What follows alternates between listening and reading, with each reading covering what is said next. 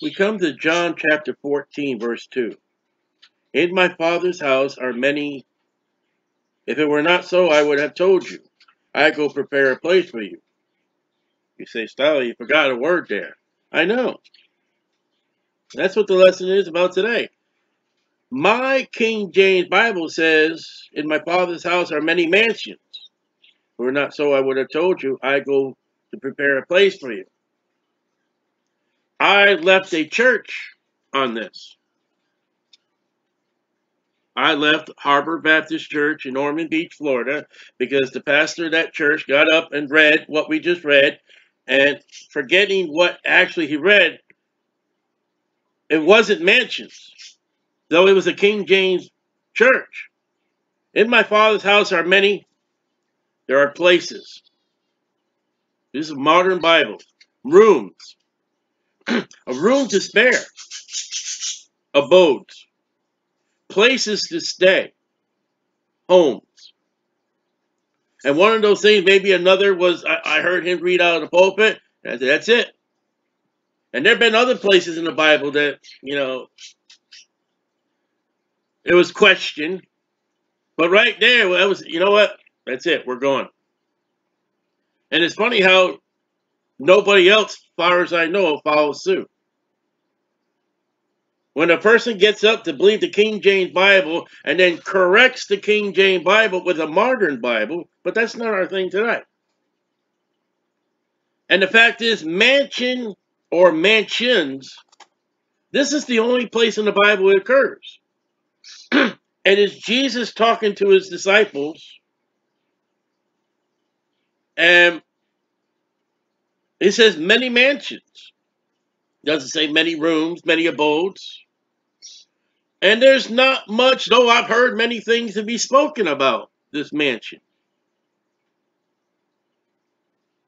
And I like to know what these modern Bible churches and these pretenders of the King James Bible, when they open up their hymnal, and there are some hymns that say mansion. On one of those hymns are ever sung. I've got a mansion over the hilltop. I guess in a modern Bible you would not, you cannot sing that hymn. Unless maybe that hymn has been changed. But whatever, what little information we're given by Jesus Christ. When we read about in, in Revelation, because New Jerusalem is the future abode. And we go to heaven But we go to a place that's better than heaven. We go to New Jerusalem. And New Jerusalem, Revelation 21 1, and I saw the new heaven, new earth, from the first heaven and from the first earth were passed away. I, John, saw the holy city, New Jerusalem, coming down from God, out of heaven, prepared as a bride adorned for her husband and I'll let you read on your own, but there's a description in the rest of chapter 21. And that description of uh, New Jerusalem, I don't see any mansions. I mean, let's look, let's see. We'll break it down. Having the glory of God, light as the stone brush precious, it's great and high, 12 greats, 12 angels, with the names of the tribes of the children of Israel, gates, three gates on each side, northwest, east, and south. There, the and with those are the names of 12 apostles the Lamb. Uh, and it was measured, four score length is the large of the breadth, and measured the city of Reed 12,000 furlongs, the length and the breadth and the height of it were equal. We measured the wall, and the building the wall is jasper and goes through the, the stones. The road, the street is gold, pure gold. The gates are a pearl. There's a temple. There's no need of the sun. Nation shall come in out The gate shall not be shut. There'll be no sin, no iniquity to enter therein. There's a pure river. There's the throne of God. I don't see any dwelling places. But Jesus said, I go prepare a, a, a mansion. And when you read about the splendor of New Jerusalem, all these magnificent stones and gems, and a street of gold, purest gold, which means that street is, I have been told by people who work with, with ores and gems, pure gold is actually clear when you remove all the impurity. And again, you can't have the streets plural of gold. It's the street of gold. You gotta get these things right. And with the splendor of what New Jerusalem I am to read about, with in eternity. and I'll tell you, going back to John chapter 14, I'll tell you what, what spoke my mind. The moment that I heard that change, and listen, I heard John 14 many times to earn my degree as a Dr. Stanley William Hayward. I had to go to the Gospel of John. And then John 14, I mentioned, were in many of my classes. And I've been in countless churches, and, you know, one of the messages that mansion. So I'm sitting in this church, and and in my father's house are many. I, I forget what he what his Bible said, what he said. If we're not so, that moment that mansion has been was changed to something else, you lessen God's ability. You changed the glory and honor where uh, where God is going to have Jesus Christ praised. I mean, rooms to spare, places to stay. Listen, we're going to glory. We're not going to a hotel. We're not going to a place where we have a landlord. There will be no rent. And we're not going to no shanty. We're not we're not going to a building that is going to break down. We're going to have plumbers in heaven, I guarantee, but we're not going to need their services. There'll be carpenters in heaven, but they won't be carpenting. There'll be electricians that have believed on the Lord Jesus Christ. There'll be no broken light switches broken lamps or wiring that needs to be redone in the mansion. We won't need flood insurance. We won't need fire insurance. And then the spectacular, if Jesus said, I go prepare a place for you, can you imagine what kind of place Jesus would prepare? A shabby place for us? I don't think so. I, I, don't think something that Jesus would be anything better than the best. He's God. And we do have in Revelation 21 2, I saw the holy city of New Jerusalem coming down from God out of heaven prepared as a bride adorned for her husband. Jesus said, I go prepare a place for you. That place is New Jerusalem. And in verse 21, 3 in Revelation, I heard a great voice out of heaven say, Behold, the tabernacle of God is with men. And we will dwell with them, and they shall be his people, and God himself shall be with them and be their God. When we're looking at John 14, 2, we're also looking at Revelation 21, 2 and 21, 3. And when you lessen the mansion with places, rooms, rooms to spare, abodes, places to stay, homes, you have lessened, you have weakened the place called New Jerusalem with all the splendor of the gems and the stones and the precious stone and the street of gold and those great pearls and the names of the, the, the 12 tribes of Israel and the names of 12 apostles of the Lamb. That it came out, uh, what's it say? I saw John, the Holy City, New Jerusalem, coming down from God. Now, Jesus said, In my house are many mansions. So I'm not going to say the mansion is New Jerusalem because he said many mansions. There's one New Jerusalem. And we're really not giving much detail about the mansions. But there's enough detail that the modern Bibles have corrected and it needs to be addressed. Now watch this, 1 Corinthians 2 9. But as is written, I have not seen, an ear heard, neither have entered into the heart of man the things which God has prepared. There's that prepare again. He said, I go prepare a place for you. The things which God has prepared for them that love him. Now, the splendor of what Jesus has prepared for. And mansion. A mansion. Man, listen, listen. I grew up a little boy, uh, there there are mansions in New London, Connecticut, along the, the, the river, the, the Thames River and the and the Sound, on Long Island Sound, and they were sp sp splendor, great place. Wow, look at that beautiful building.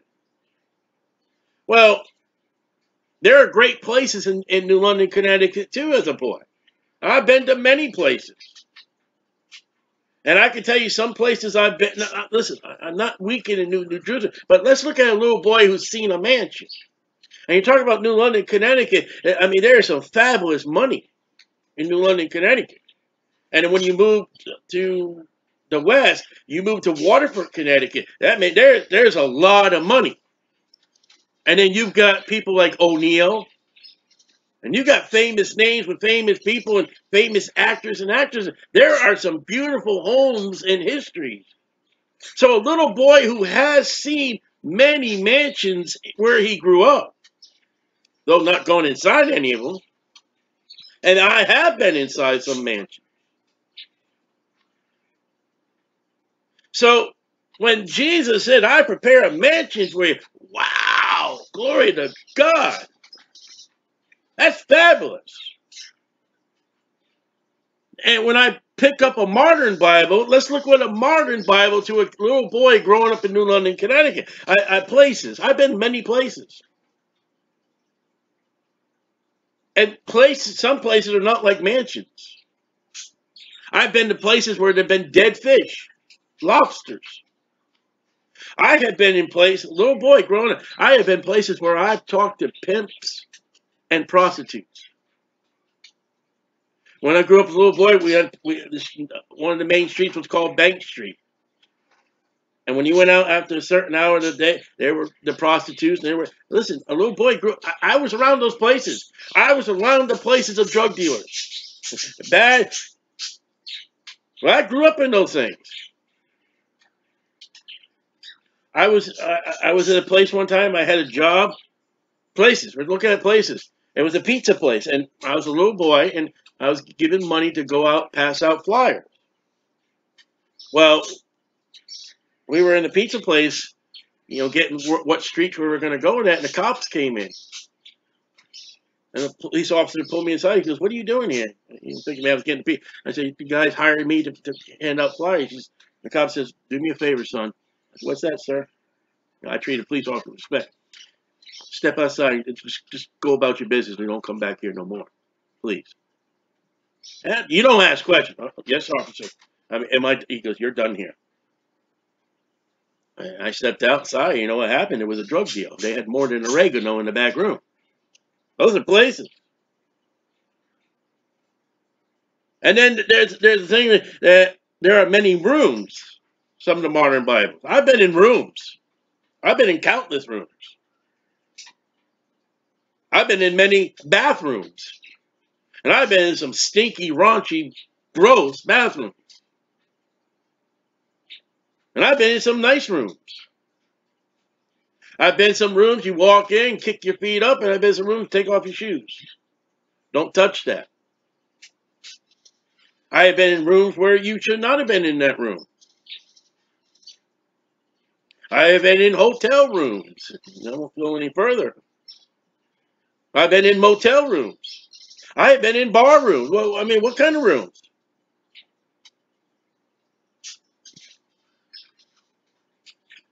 I mean, if you're talking about the splendor of New Jerusalem, I prepared many rooms. Big deal. I got many rooms here. I got one, two, three, four, five. I got five rooms here. I've been in, in efficiency where there's two, two or three rooms. A main living, a bathroom, and a kitchen. Again, I've been in mansions where there have been many rooms. I, I was in one. One. I, I asked if I may use the facility, and they're like, "Which one do you want to use?" Anyone. I could use one. You know. I have been in grand places with grand rooms. I'm thinking about a, a grand room that uh, um, it was a hotel. I can't think of the name now by down by Pequot Avenue. I used to deliver papers every morning to this place. It was an inn that's closed up. So I'll give you many rooms. Here's a mansion. Here's a inn that, that's been turned into a, a, a hotel motel. I can't think of the name of it. All right, rooms. Well, big deal. I deliver newspapers to this place six days a week. I use their bathroom every single time. It was one of those places where I work, where I stop off, and I would use the bathroom. That's rooms. And then there's rooms to spare. Rooms to spare. Hi, God, I'm finally home. Oh, I don't know if I have room for you. Michael, do we have room? We got a room for him? There wasn't even room at the inn for Jesus when he was born. Room to spare sounds like, oh, I wasn't prepared for you. And Jesus says, I go prepare a place for you. And when we get the glory, it's not like, oh, shoot, you're here. An abode, eh, places to stay. Sound like I'm going to be moving around. Sound like that there's a heavenly moving van, moving trailer rental place. No, when I get the glory and wherever God has me to stay and live, I'm going to live at that place. I ain't moving around no more. Again, there may be movers in heaven saved. I ain't, they're not going to bust their backs anymore moving furniture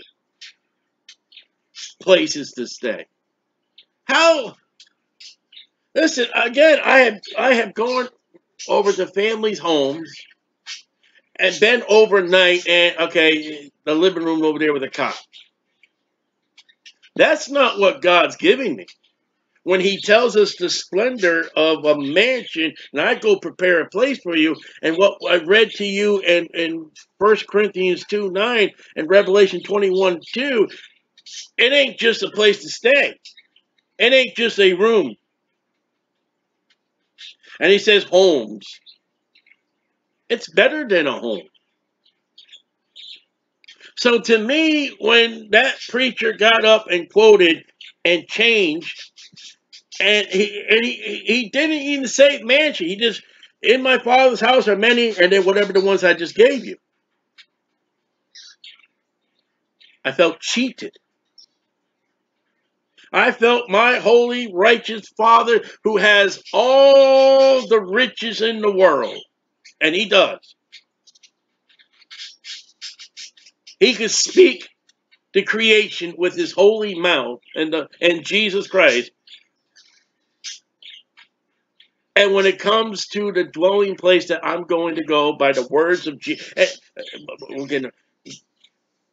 you have cheapened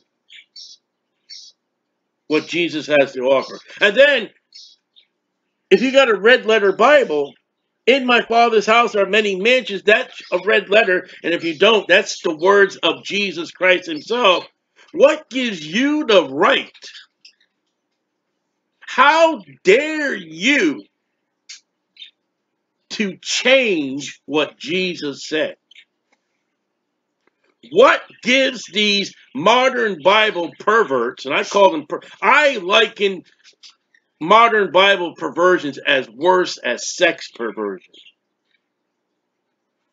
A, pipe, a, a person, a committee that sits down and changes the word of God, you're just like a, a, a, a sodomite. You're just like a, a child predator. You, we ought to put your name like they put their name on sexual predators. This person changes the word of God. That when they try to go into any church, We'd look up their name, we do a check on Bible pervert. I think we need a name like, like sexual perversion. How dare you? How dare you change what Jesus said? What gives you that right?